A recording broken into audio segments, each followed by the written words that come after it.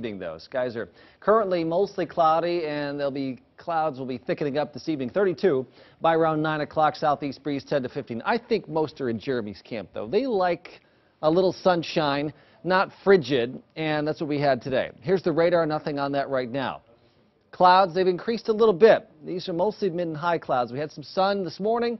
Clouds coming up from the southwest, and these are just the first in a series of storm systems that will affect the Midwest. It's a tiny one here coming up through the panhandles of Texas, Oklahoma, Kansas.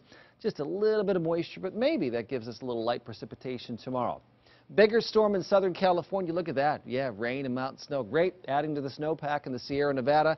And then another storm in the Pacific. So they're all lined up.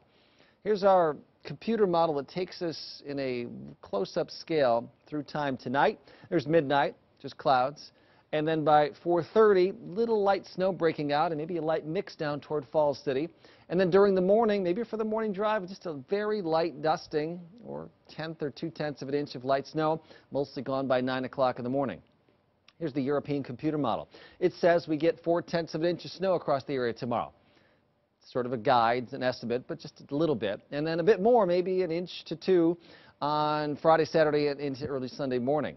Here's the GFS, the American Longer Range Computer Model. Tomorrow, little dusting of light snow for some areas, and then late in the week, Friday, Saturday, and Sunday, a couple of inches of snow possibility, adding to what we get for tomorrow. So it'll take a long time, but possibility of some snows the next few days. This is tonight, generally cloudy, holding around 32, and then that chance of a little bit of uh, light snow or possibly a light mix in some areas for the rush hour tomorrow morning. 35, south breeze at 18. That's made it feel chilly. It was 9 early this morning in Clarinda, but then 34 degrees this afternoon. Harry Ridner said, great to see the sunshine. He's with Jeremy.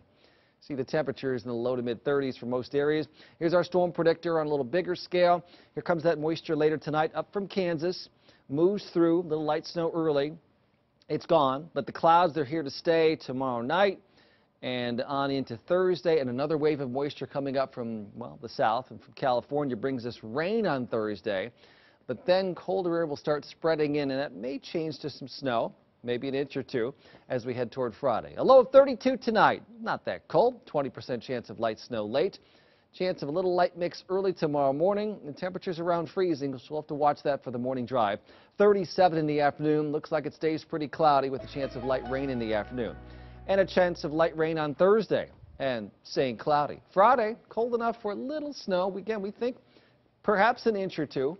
Not a huge system. And then the cold north winds start blowing. Oh, yeah. On Saturday, low of 22, high of 23, falling temperatures 5 on Sunday morning and Monday morning.